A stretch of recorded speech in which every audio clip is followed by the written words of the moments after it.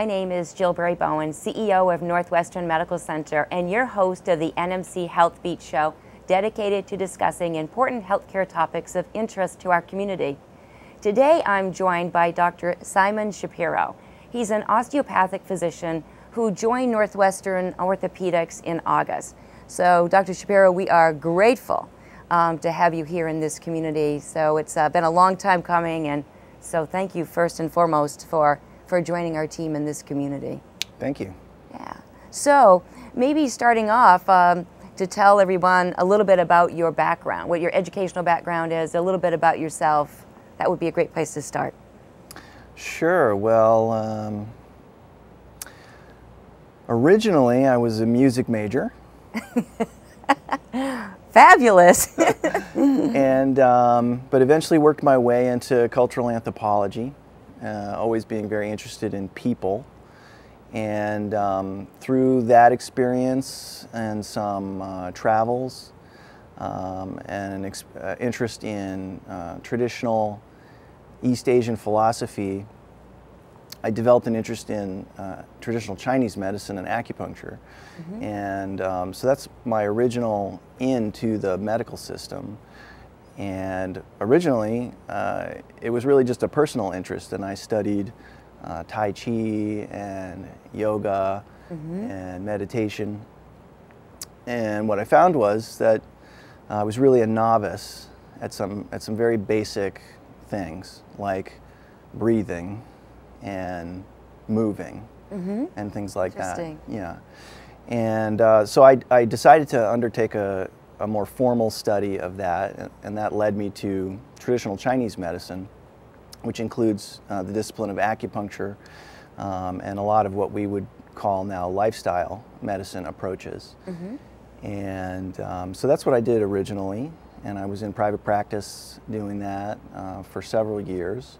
Mm-hmm. And um, at a certain point, I felt somewhat limited by that, and I wanted to be able to offer uh, other um, modalities and therapies to my patients, and I also wanted to know more, mm-hmm. and that led me to uh, go to medical school, and the rest is history.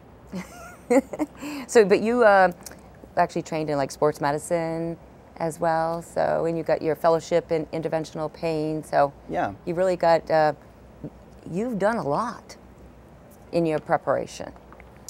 Yeah, my, my residency training is in physical medicine and rehabilitation, or PM&R, mm-hmm. uh, which is an area of medicine that is um, focused on optimizing function uh, within the limitations of whatever a person's condition may be.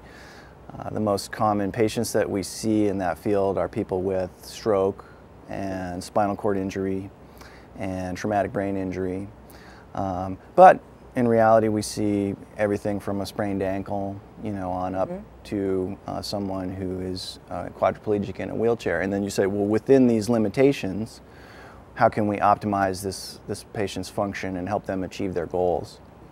In uh, physical medicine and rehabilitation, you do that uh, typically with a team of therapists, including physical therapy and occupational therapy and, and so on.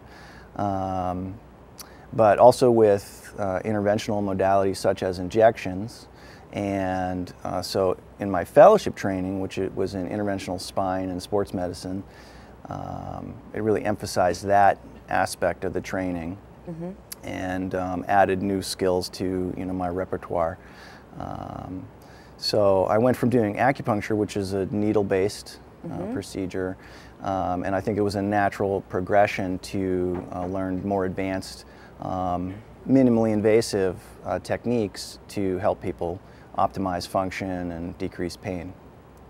So with all of that background, what is your practice at Northwestern Orthopedics? That's where you're located with uh, in the orthopedic practice. So, and then you've moved to um, you were hired as interventional pain. So what does your practice look like? So yeah, I serve as the interventional pain physician in the orthopedic practice. Um, I'm not an orthopedic surgeon, um, so I do non-surgical, minimally invasive uh, techniques.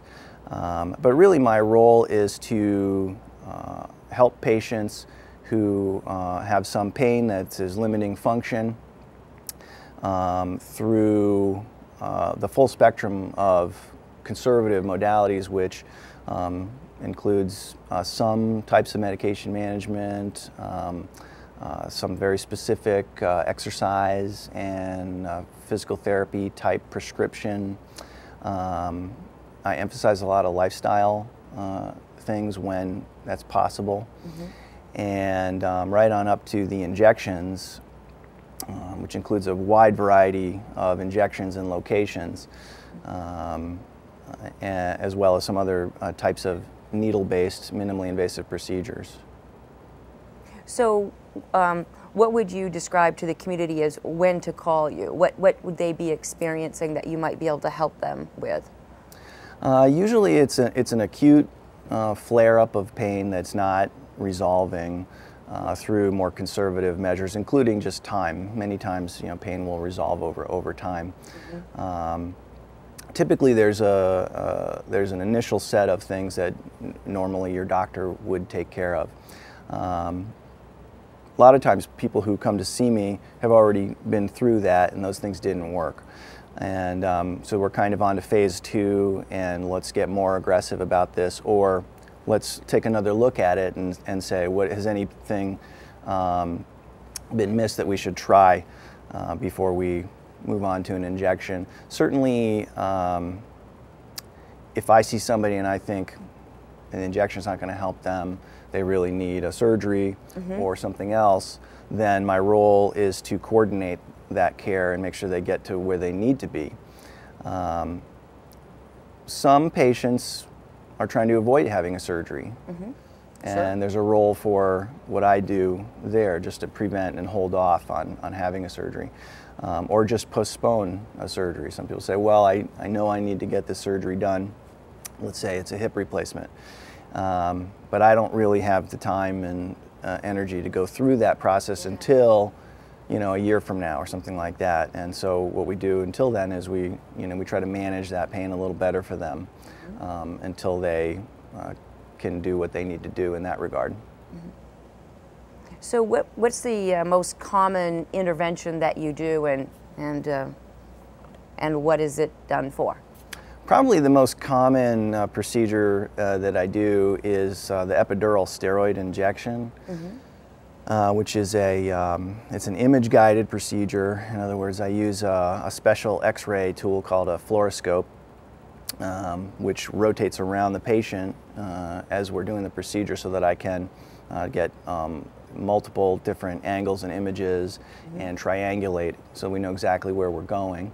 Um, because the epidural space is uh, a tiny little space right near you know these nerves which we think are getting pinched. The classic type of case is people call sciatica, mm-hmm. and so mm-hmm. typically uh, people will have back pain and it's shooting down their leg.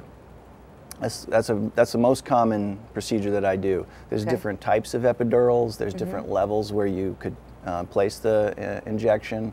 Um, but uh, in a nutshell, that's the most common one, and, and typically it's, it's due to uh, pain, low back pain that's shooting down your leg.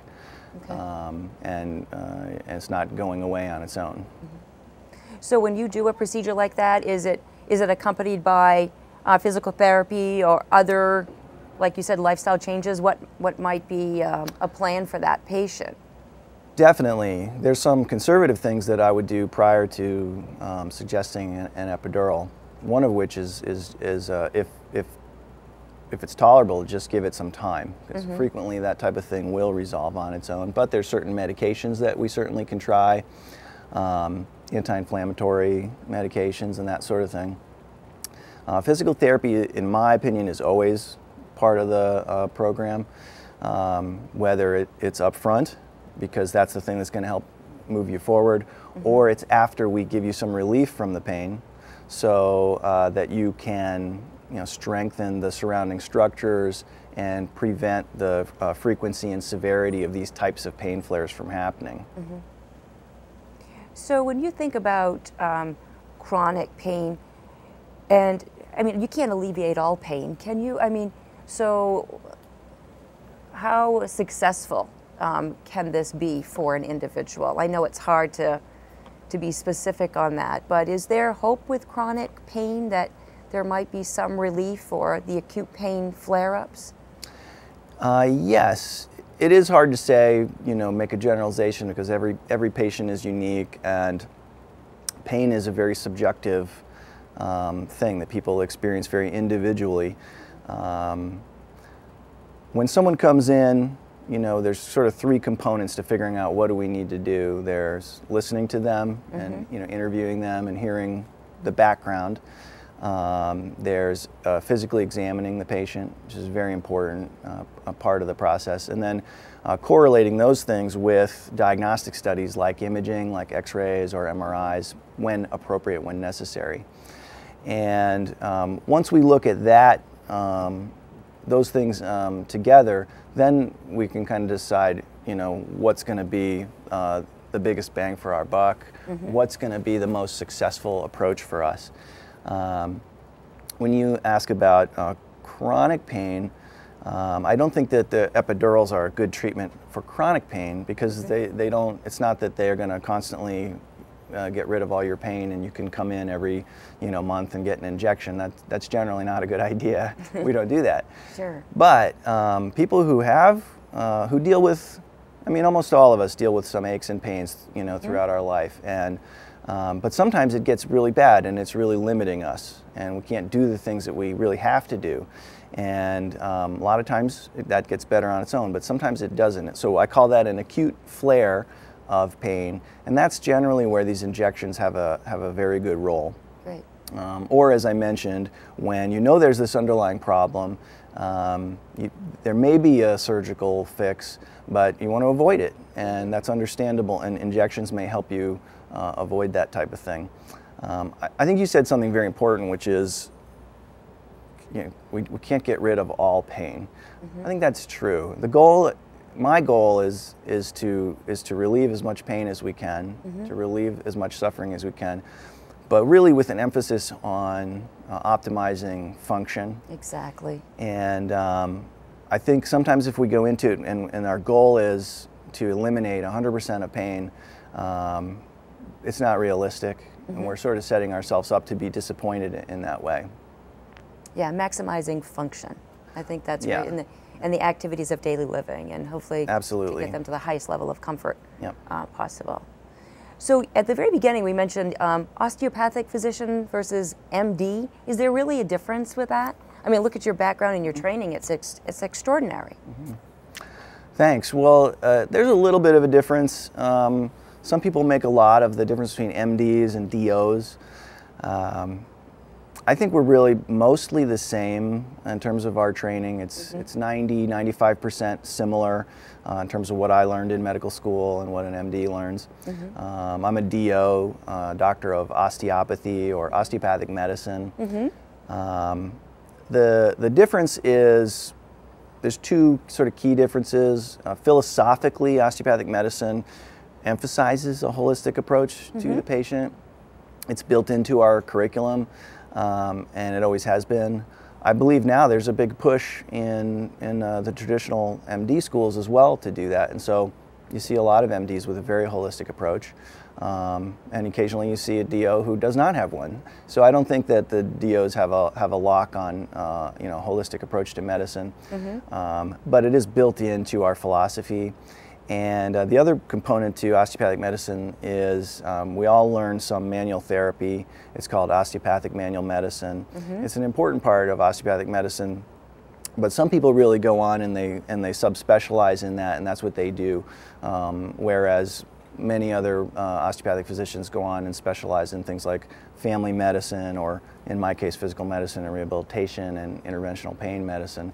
So um, nevertheless, even though I don't do that on, an, on a daily basis, I, I, think it's an invaluable part of my training um, to understand the musculoskeletal, neuromusculoskeletal system in a hands-on mm-hmm. uh, type of way, and it does it does help me.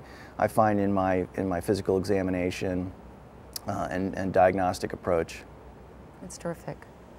That's um, that's wonderful, and I think that we are moving even to a more holistic approach, and we think about lifestyle and behaviors, and so I think it's very very appropriate. Well, our time is uh, running out, but so where do we find you, and, and, can folks just call you at Northwestern Orthopedics and Um, how do folks uh, get to see you if they are having pain? Um, yeah, I'm at Northwestern Orthopedics, and um, it's. I think it's great to to have a referral from someone who knows you and can uh, sort of uh, guide me in the right direction of you know what what has been done already. Mm-hmm. Um, but in some cases, if that's not possible, I, you know you, you, can come and see me directly, and we'll sit down and we'll look through the records and we'll figure that out together. Excellent. Thank you so much. Thanks for being on the on the show today. Thanks for finding Vermont we're happy to have you uh, in our community serving this this population. So thank, thank you. you so much. Absolutely. I'm Jill Berry Bowen, CEO of Northwestern Medical Center, and you're a host of the NMC Health Beat Show.